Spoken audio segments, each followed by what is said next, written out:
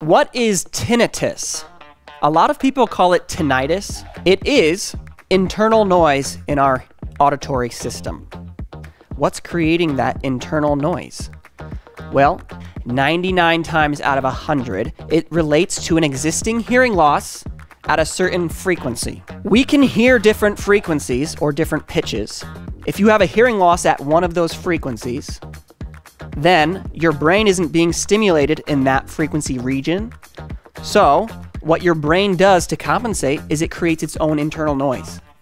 Your neurons are frequency specific in the brain.